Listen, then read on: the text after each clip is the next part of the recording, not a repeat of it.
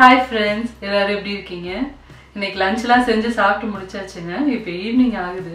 ஏதாவது ஸ்நாக்ஸ் சாப்பிடணும் போலே தோணிட்டே இருக்கு. என்னடா அப்படி பண்றது அப்படின்னு பார்த்தப்போ தான் சரி இன்ஸ்டண்ட்டாக ஒரு முறுக்கு பண்ணலாமா அப்படின்னு சொல்லி யோசனை பண்ணியிருக்கேன். சரி அப்பதான் தோணுச்சு இதையும் உங்க கூடயும் ஷேர் பண்ணிக்க கூடாது அப்படின்ட்டு. அதனால இன்னைக்கு இந்த முறுக்கு ரெசிபி நான் எடுக்க போறேங்க. இது பார்த்தீங்கன்னா ரொம்ப சீக்கிரம் பண்ணிடலாம். சூப்பராகவும் இருக்கும் டேஸ்ட்டு ஏன்னா எல்லாருமே இப்போ வீட்டுக்குள்ளேயே இருக்கோம் இல்லையா? வெளியில் போய் எதுவும் வாங்கி வந்து சாப்பிடவும் முடியாது. வீட்டில் இருக்கவங்களுக்கு ஏதாவது செஞ்சு கொடுக்கணும் அப்படின்ற மாதிரியும் தோணும் போர் அடிக்கிறனால.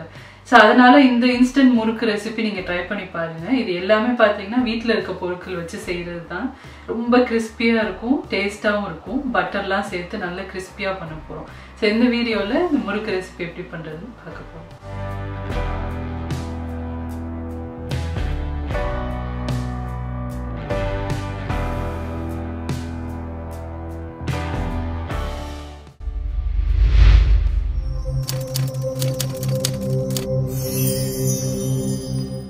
இப்போ இந்த முறுக்கு செய்யறதுக்கு நான் வந்து கடையில் வாங்கின அரிசி மாவு தாங்க யூஸ் பண்ண போகிறேன் ரெடிமேடாக நம்மளுக்கு வந்து அரிசி மாவுன்னு சொல்லி ரைஸ் ஃப்ளார்னு கிடைக்கும்.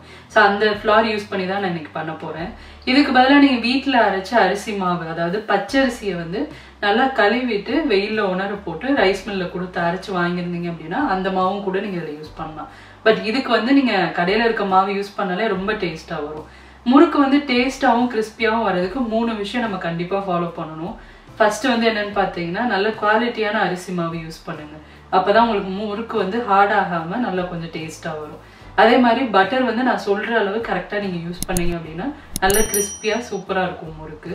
அடுத்ததா பார்த்தீங்கன்னா முறுக்கு நம்ம வேக வைக்கிற டைம் ஸோ அது வந்து உங்களுக்கு ரொம்ப ஜாஸ்தியா வேக வச்சிட்டீங்க அப்படின்னா அதுவும் வந்து உங்களுக்கு ரொம்ப கலர் ஆகி முறுக்கு வந்து ஹார்ட் ஆகிறதுக்கு சான்சஸ் இருக்கு.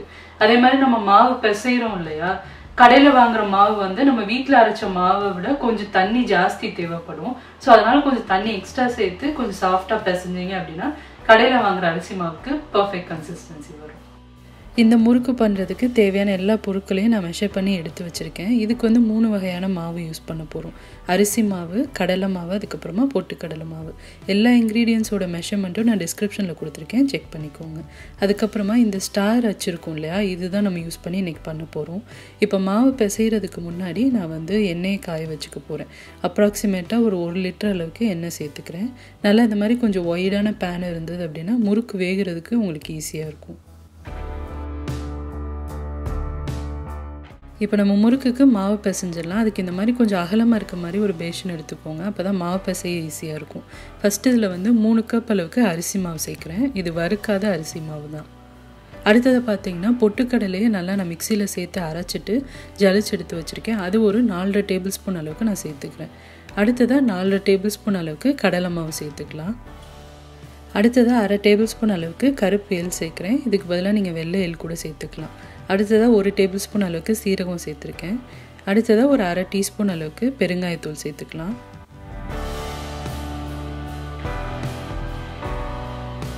அடுத்ததாக ஒரு ரெண்டரை டீஸ்பூன் அளவுக்கு உப்பு சேர்த்துக்கிறேன். இப்போ அடுத்ததாக ஒரு அஞ்சு டேபிள் ஸ்பூன் அளவுக்கு பட்டர் வந்து நான் மெல்ட் பண்ணி எடுத்து வச்சுருக்கேன். இந்த பட்டர் வந்து கொஞ்சம் சூடாக இருக்கணும். அப்போ தான் உங்களுக்கு முறுக்கு நல்லா கிறிஸ்பியாக வரும். இப்போ பாருங்கள் எல்லா பொருளுமே நம்ம சேர்த்தாச்சு. ஃபஸ்ட்டு ஸ்டெப் என்ன பண்ண போகிறோம் அப்படின்னா அந்த சேர்த்துருக்க பட்டரை வந்து அந்த மாவோட நல்லா ஒன்று கலந்துட போகிறோம் ஸோ இது எல்லா பக்கமும் நல்லா கலந்தால் தான் உங்களுக்கு முறுக்கு எல்லாமே கிறிஸ்பியாக வரும். இல்லைனா ஹார்டாக இருக்கும். நம்ம சேர்த்துருக்க எல்லா பொருளோடு சேர்ந்து இந்த பட்டரும் நல்லா கலந்து வரணும். மாவு பார்த்திங்கன்னா கொஞ்சம் ஈரப்பதமாக ஆகும் கையில் பிடிச்சிங்க அப்படின்னா உங்களுக்கு பிடிக்க வரும். அந்த பதத்தில் நீங்கள் வந்து ஃபஸ்ட்டு நல்லா கலந்துக்கணும். இப்போ பாருங்கள் மாவெல்லாம் நல்லா கலந்தாச்சு. இந்த மாதிரி டைட்டாக நீங்கள் பிடிச்சிங்கன்னா உருண்டை பதத்துக்கு வரும். பட் நீங்கள் வந்து லைட்டாக ப்ரெஸ் பண்ணிங்கன்னா உடஞ்சிரும். இதுதான் சரியான பதம். இந்த அளவுக்கு தான் கொஞ்சம் கொஞ்சமாக தண்ணி சேர்த்து நம்ம பிசைய போகிறோம் தண்ணி வந்து நான் நார்மல் பச்சை தண்ணி தான் எடுத்திருக்கேன். நான் சொன்ன மாதிரி இது ரெடிமேட் மாவு அப்படின்றனால எக்ஸ்ட்ரா நிறையா தண்ணி தேவைப்படுங்க. கிட்டத்தட்ட நான் வந்து ஒரு ரெண்டு கப்புக்கு மேலே தண்ணி யூஸ் பண்ணியிருக்கேன் பிசைகிறதுக்கு அதே மாதிரி பார்த்திங்கன்னா இந்த மாவை நம்ம நார்மல் மாவை விட கொஞ்சம் சாஃப்டாக பிசையணும். அப்போ தான் அது வந்து முறுக்கு உடையாமல் நம்மளுக்கு புளியறதுக்கு வரும். அதே மாதிரி முறுக்கும் சாப்பிட்றதுக்கு சாஃப்டாக இருக்கும்.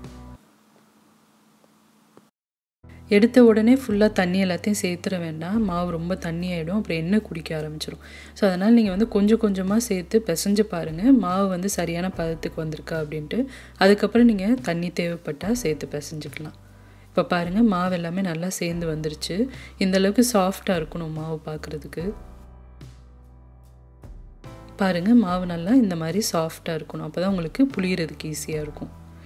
இப்போ நான் வந்து உலக்கில் எடுத்து வச்சுருக்க அச்சை சேர்த்துக்கிறேன்.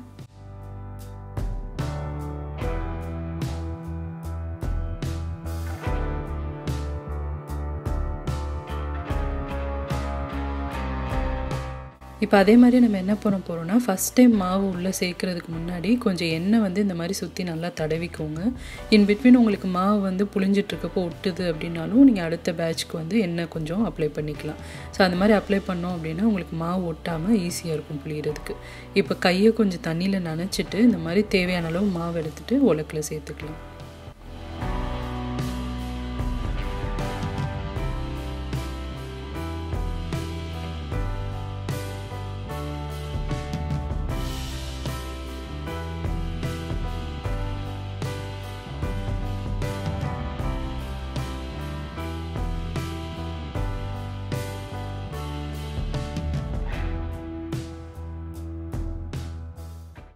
பாருங்கள் இந்த மாதிரி நான் சின்ன சின்ன முறுக்காக தான் இன்றைக்கி வந்து புழிஞ்சிக்க போகிறேன் நீங்கள் ரெண்டு மெத்தடில் இதை பண்ணலாம். இந்த மாதிரி மொத்தமாக கூட நீங்கள் புழிஞ்சு விட்டுலாம் அதாவது கடையிலலாம் நம்ம இந்த மாதிரி தான் வாங்கி சாப்பிட்ருப்போம் இல்லாட்டி உங்களுக்கு ஈஸியாக இருக்கிறதுக்கு ரவுண்டை கூட நீங்கள் புழிஞ்சிக்கலாம்.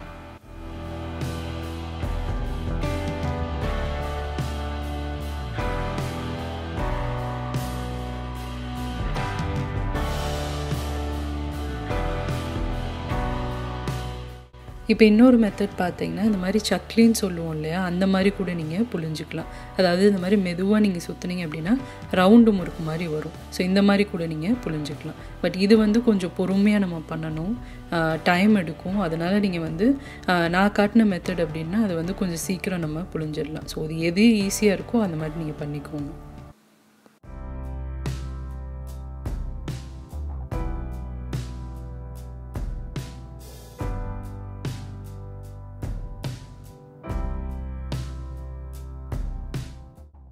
பாருங்கள் இந்த முறுக்கு நல்லா ரவுண்டாக அழகாக இருக்கும் பார்க்குறதுக்கு நான் இன்றைக்கி வந்து இந்த மாதிரி தான் புளிஞ்சிருக்கேங்க ஒரு பேட்ச் நல்லா புளிஞ்சு வச்சதுக்கப்புறமா தான் நீங்கள் வந்து பொறிக்க ஆரம்பிக்கணும்.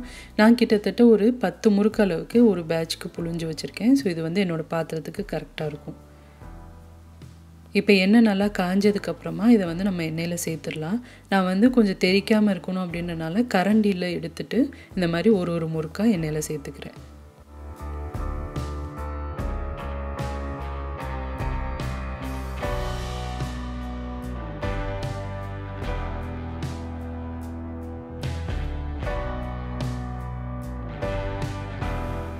எண்ணெயில் சேர்த்த உடனே நம்ம கரண்டி போட்டு கிண்டக்கூடாது முறுக்கு எல்லாமே உடஞ்சி போயிடும் அதனால் கொஞ்சம் வேகட்டும். அதுக்கப்புறமா நீங்கள் கிளறி விட்டுக்கலாம்.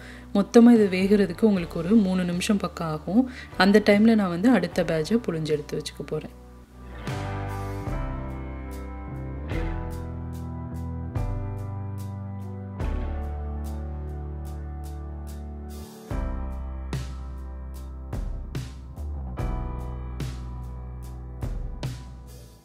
இப்போ பாருங்கள் கிட்டத்தட்ட ஒரு ஒரு நிமிஷத்துக்கு மேலே முறுக்கு வெந்திருக்கு. இந்த டைமில் தான் நான் வந்து கொஞ்சம் கிளறி விட்டுக்கிறேன் இதை.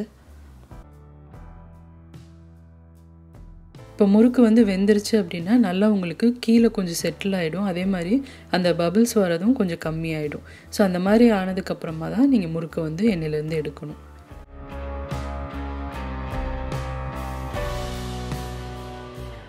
நல்ல கிறிஸ்பியான முறுக்கு நம்மளுக்கு தயாராகிடுச்சு இந்த மாதிரியே நான் பாக்கி இருக்க மாவு எல்லாத்தையுமே பொரிச்சு எடுத்துக்க போகிறேன்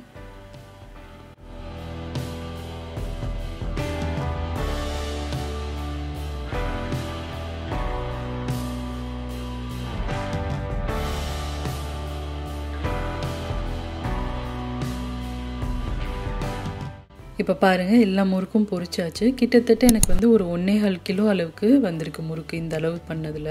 ஸோ இப்போ நம்ம வந்து டேஸ்ட் பண்ணி பார்க்கலாம். சூப்பரான கிறிஸ்பியான முறுக்கு நம்மளுக்கு தயாராகிடுச்சு நான் சொன்ன மாதிரி எவ்வளோ ஈஸியாக பண்ணிட்டோம் பார்த்தீங்களா? ரெடிமேடாக ஒரு அரிசி மாவு இருந்தால் போதும். டக்குன்னு நம்ம கடலை மாவு பொட்டுக்கடலை மாவுலாம் சேர்த்து இன்ஸ்டண்ட்டாக இந்த முறுக்கு பண்ண முடியும்.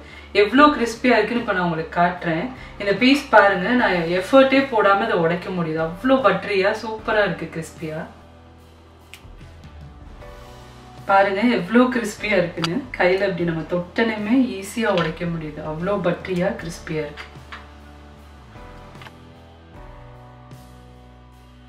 இப்போ டேஸ்ட் பண்ணி பார்க்கலாம் நம்ம.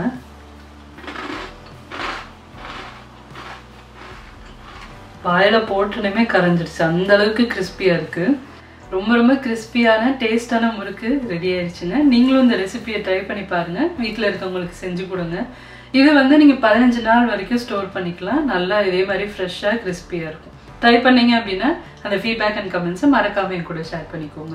என்னோட ரெசிபிஸ் மட்டும் தனியாக பார்க்கறதுக்கு பேன் அண்ட் போஸ்ட் சேனலையும் சப்ஸ்கிரைப் பண்ணுங்க. சேனலோட லிங்க் எல்லாமே நான் டிஸ்கிரிப்ஷனில் கொடுக்குறேன். செக் பண்ணி பாருங்க. அந்த சேனல்லையும் நான் வந்து ரெகுலராக ரெசிபிஸ்லாம் நிறைய அப்லோட் பண்ணிட்டு இருக்கேன் செக் பண்ணி பாருங்க. அதே மாதிரி என்னை இன்ஸ்டாகிராம்லேயும் நீங்கள் ஃபாலோ பண்ணலாம். எல்லா டீட்டெயில்ஸுமே டிஸ்கிரிப்ஷன் பாக்ஸில் இருக்கு. இந்த வீடியோ பிடிச்சிருந்தது அப்படின்னா ஒரு லைக் கொடுங்க. சேனலுக்கு எல்லாம் சப்ஸ்கிரைப் பண்ணாதவங்க மறக்காம சுஜிஸ் கிச்சனுக்கு சப்ஸ்கிரைப் பண்ணுங்க. இதே மாதிரி நிறைய ரெசிபிஸ் vlogsஓட அடுத்து உங்களை நான் மீட் பண்றேன். சுஜிஸ் கிச்சன் எளிய பாரம்பரிய சமையல் தொகுப்பு அப்படி பேசி முடிச்சாச்சுல அந்த தட்டை கொஞ்சம் எங்கிட்ட நவுத்துறது. சரி